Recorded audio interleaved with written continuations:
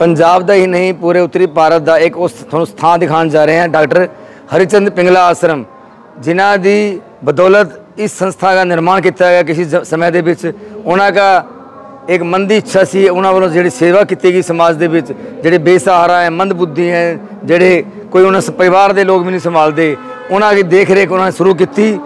ਉਹਨਾਂ ਕੇ ਬਾਅਦ, ਉਹਨਾਂ ਕੇ ਪਰਿਵਾਰ ਵੱਲੋਂ ਔਰ ਸ਼ਹਿਰ ਵਾਸੀਆਂ ਵੱਲੋਂ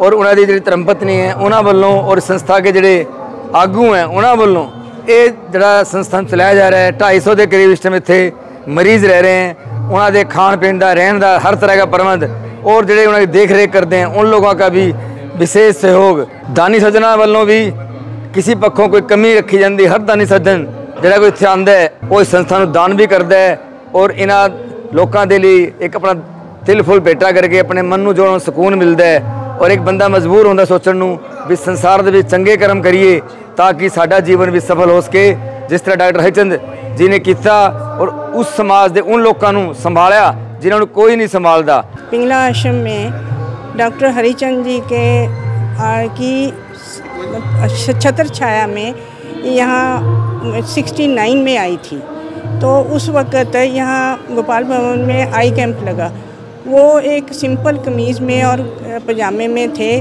और पैरों में कोई जूता नहीं था। तो उन्होंने मतलब मेरे सिर पे हाथ रखा।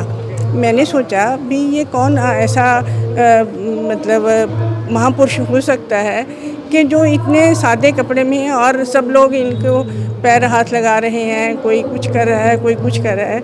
तो उस दिन से मैंने भी चलो इनको नमस्कार करना शुरू कर दिया। तो उसके बाद मतलब उनकी कृपा से जब भगवान की कृपा से जो भी हुआ, मैं यहाँ आई। तब से मैं इससे जुड़ी हूँ तो मेरे को यहाँ आके ये नहीं कि मैं यहाँ की प्रेसिडेंट हूँ, मैं, मेरे को उसका कोई वो है। मेरे को यहाँ आके ऐसे लगता है कि कोई मंदिर, मस्जिद उस, इससे दूर है तो ये उससे भी बेहतर है। ये मतलब कितने जब मरीज़ यहाँ रह रहे हो डॉक्टर साहब? उस वक्त चार पाँच मरीज़ थे अब कितने जब मैं अब ढाई सौ मरीज़ है।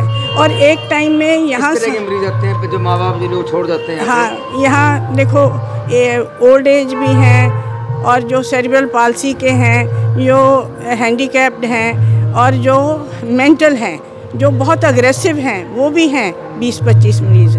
और एक टाइम था यहाँ साढ़े चार सौ भी हो गए थे। तो फिर सहयोग मिलते हैं शहर के लोगों का? पंजाब से विदेशों से भी लोग आते हैं।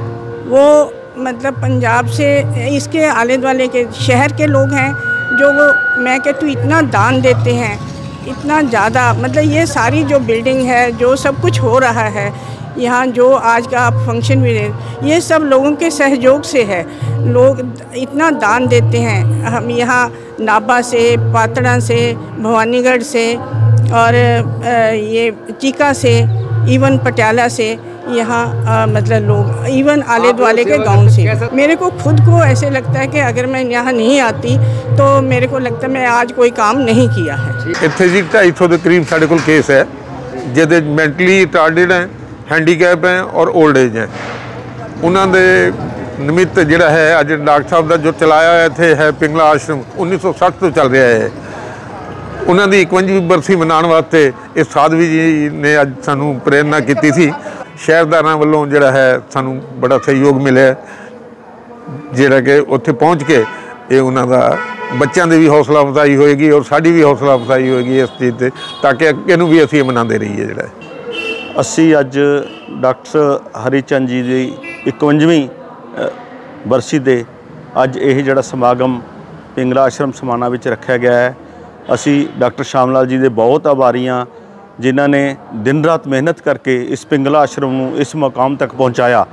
ਅਸੀਂ ਇਹਨਾਂ ਦੇ ਬਹੁਤ ਬਹੁਤ ਸ਼ੁਕਰਗੁਜ਼ਾਰ ਹਾਂ, ਜੋ ਅੱਜ ਵੀ ਇਹ ਨਿਸਵਾਰਥ, ਬਿਨਾਂ ਕਿਸੇ ਸਵਾਰਥ ਤੋਂ ਜਿਹੜੀ ਇਹ ਸੇਵਾ ਕਰ ਰਹੇ ਨੇ, ਜੋ ਇਹ ਸੇਵਾ ਨਿਭਾ ਰਹੇ ਨੇ ਸ਼ਹਿਰ, ਪੂਰਾ ਸ਼ਹਿਰ ਇਹਨਾਂ ਦਾ ਬਹੁਤ ਰਿਣੀ ਰਹੇਗਾ।